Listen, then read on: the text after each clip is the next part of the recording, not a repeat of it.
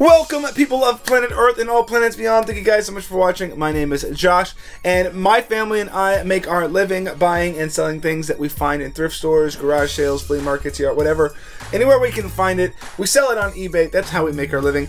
And we're going to go over our best five finds this week. Let's get into it.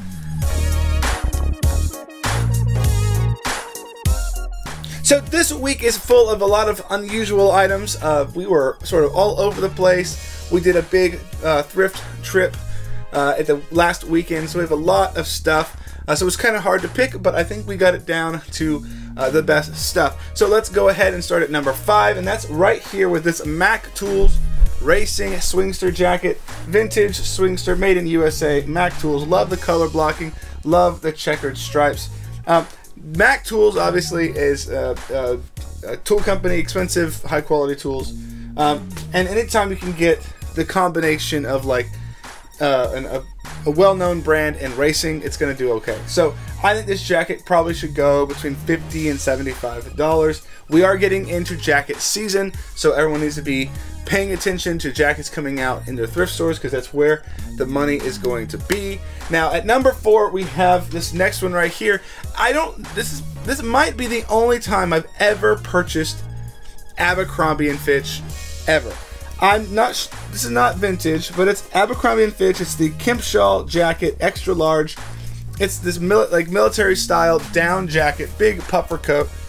It was eight bucks, and it's super dope looking. Like I, I could potentially keep it for myself. Like again, I don't normally buy Abercrombie, but this is a super dope piece, high quality construction, down jacket. It's probably super warm. Um, I actually would expect with this type of jacket to get uh, up like 75 plus.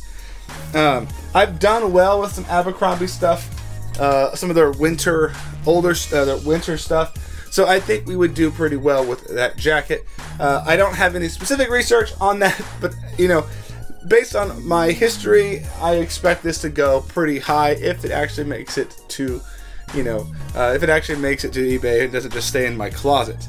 Uh, now, for number three, we have uh, this guy right here. Where'd he go? Oh, yes, right here. Uh, this is another thing you need to buy all the time when you're out in the thrift store and you find it, especially sealed. And that's Legos. I picked this up for $2. $2. This is a sealed Ninjago set. Let's see. Uh, Fire Fang, you got the code here, the, the serial number here for the set, set number 70674. Um, I looked this up. This is going like in the realm of like sixty to eighty dollars. I think is what most of them are listed for. That's sort of what happened. Like when Lego retires a set, that set's not going to be made again. So these things become a, have you know a premium for sealed sets. So people trying to collect or trying to buy old stuff that uh, they need parts for. This is where to go. Uh, finding it on eBay. So this is a great buy for two dollars. I'm going to make a lot of profit on this. Um, Lego actually, um, I saw a statistic uh, not too long ago, but Lego actually, uh, the value of Lego actually increases faster than the value of gold over the last 40 years. So Lego is really worth its weight in gold. Now at number two, you would have expected this potentially to be at number one, but it's not. And that's unusual for me because I have something really cool for number one. And that's these guys right here. This is Gianni Versace boots. Like, pretty incredible boots. Like, in fantastic condition.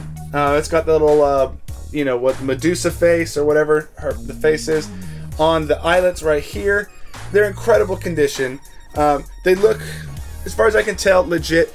Uh, faking boots, particularly high quality boots like this with the leather and stuff, is typically pretty hard to do. So you don't tend to see as many fakes of shoes.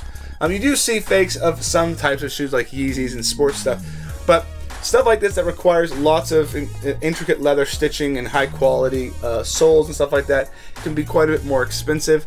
Uh, so I do not sense these to be fake or uh, any sort of fraud, but amazing boots right here.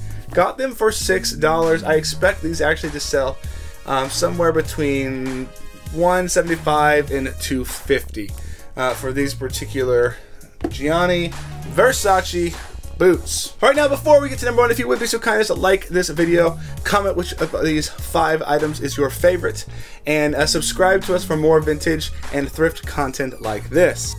All right, now for number one, we need the lights off, but not for long. Ha Are you guys ready for this? This is today's number one thrifted item, and that's this guy right here. While technically not thrifted, I did buy this from a flea market. This is a vintage uh, from 1986 87 era Levi's 501 neon light, true neon light. This was a store display, and boy, am I happy to have it. It is now going to be part of the set as soon as we sort of revamp the set around here. And this will be part of it. I'm super thrilled to have this particular piece as part of that's hilarious as part of our collection. you can't see my face, but I'm so thrilled. It was so much fun to find this. Worked my way into negotiations, and we got it. So 501. Alright everyone, that was the top 5. I hope you enjoyed it. If you did, hit that thumbs up. If you didn't, hit the thumbs up. Otherwise, comment below which one of these 5 is your favorite. I think I know who will win. Uh, and subscribe for more content like this. We'll see you guys next time. Peace.